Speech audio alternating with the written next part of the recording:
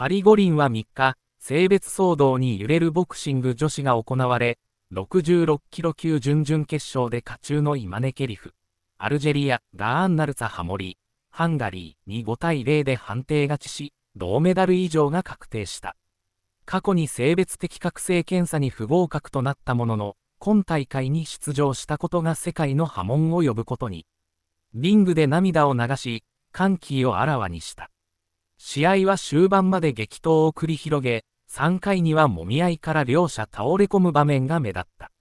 終了後は共に敬意を込めてタッチ。判定は5対0の干渉。ケリフはリングで号泣し、退場する際にはコーチに肩を抱かれる場面もあった。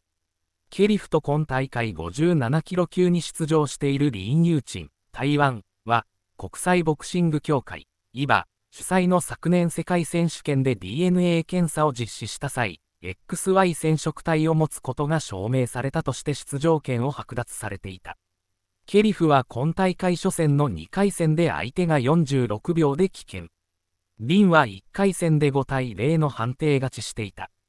国際オリンピック委員会 IOC は1日、公式サイトでパリ2024ボクシング部門と IOC の共同声明を発表。2人が東京五輪、世界選手権、イバが認可する大会など国際大会に女性として問題なく出場していたことや彼女たちは突然適正な手続きなく失格させられたと昨年の世界選手権での出場権剥奪について伝えた。